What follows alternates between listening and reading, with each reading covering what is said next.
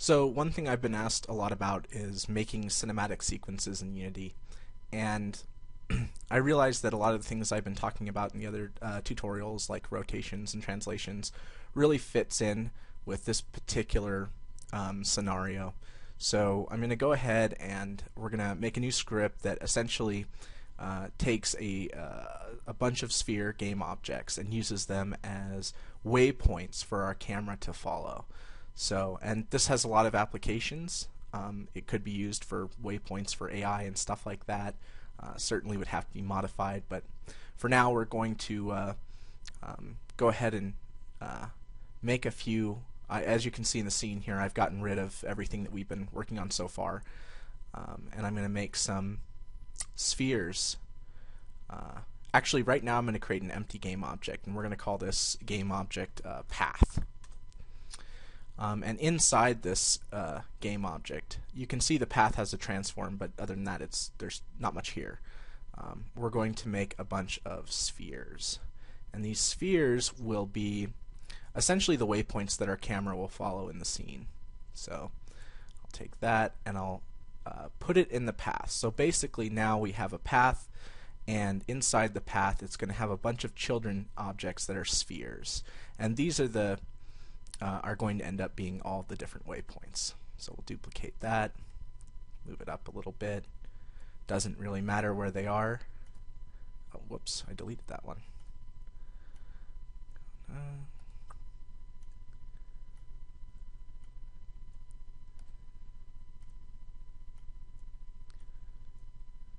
let's make there. That seems like enough. So now we need to make a script that's going to go through our path here and um, essentially collect all of the different waypoints and store them. So let's go ahead and create a new script and we can call it I don't know um, cinematic. So we'll open that up.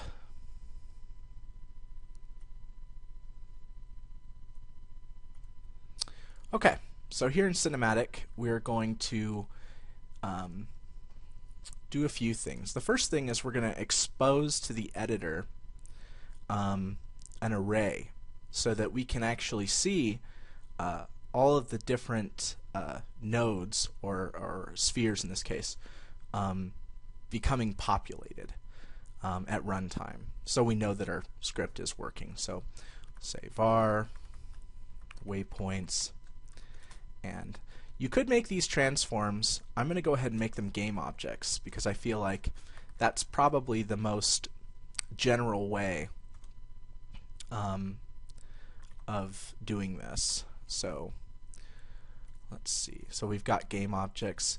And now we're going to also create an, another um, variable called max size.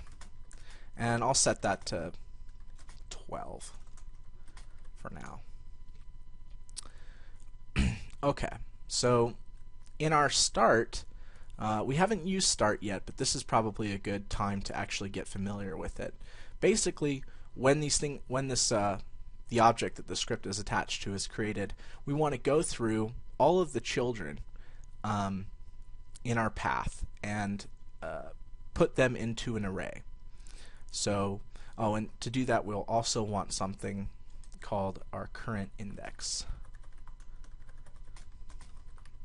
And in this case, the current index can be set to private. If you don't know what that does, it basically just means that this won't be exposed to the editor. Um, and so it's strictly for our script to use.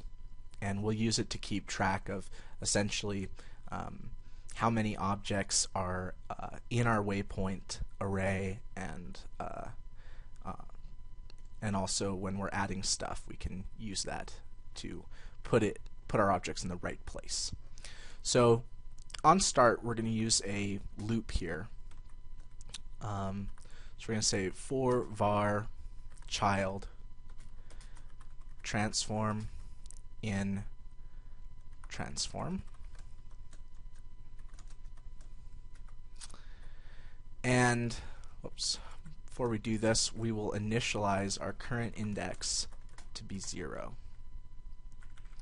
So the idea behind this loop uh, is that basically uh, we want to go through all the different transforms that exist in our transform. Remember this lowercase um, transform here that starts with lowercase t references the current transform of the object that we're attached to.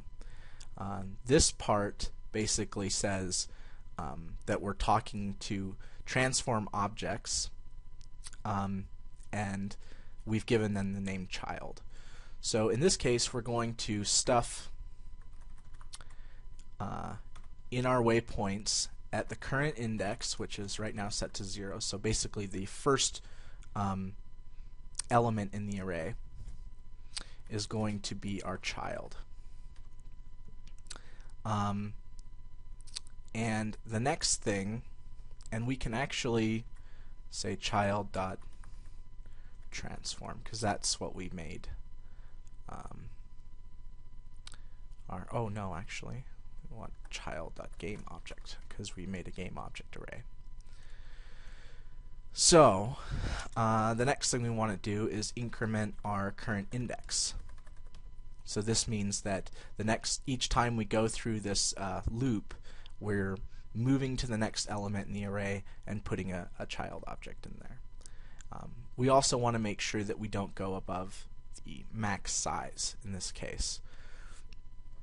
So we'll say if current index is less than max size, then we're allowed to do this particular operation.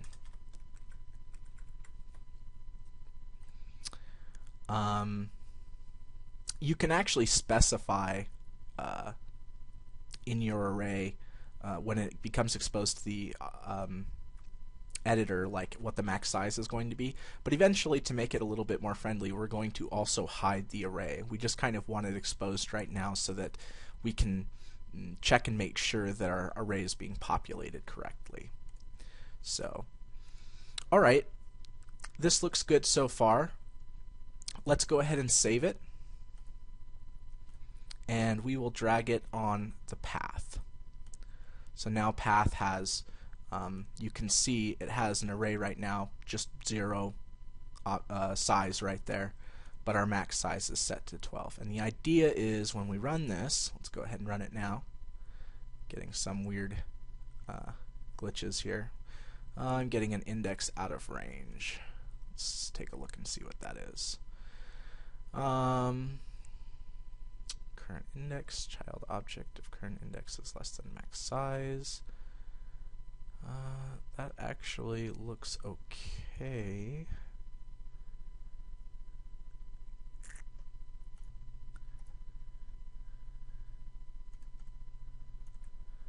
Oh, maybe I should also say that we have a new we, we also need to actually instantiate the waypoint array. So we need to say waypoints equals new game object, and then we pass in whatever our max size is. So that creates in memory um, enough uh, spaces for all the different waypoints that we're going to have. Let's go ahead and save that, and we'll run again. Okay, now if you look here uh, in our script, uh, we can actually uh, look through and the array and see that it's being populated with all the spheres. So that's good. Basically, that means that um, we've now collected all of the waypoints that exist in our path. Um, and we also have uh, other spaces here um, as well if we needed to say we had a particularly large path. Um, so now that we know that's working, let's go ahead and make our waypoint array private because I don't think we uh, necessarily want the user in this case to be able to click and drag different waypoints in because it makes more sense I think for someone to just create a path and drop children objects in there. So now if you look at it you won't see um, in the cinematic script here, you won't actually see the array, but it is still being populated and the max size is still 12. So um, that's it for now. Um, we're going to, in the next uh, lesson, we're going to create a way for uh, our camera to start following uh, all the different waypoints that we've created.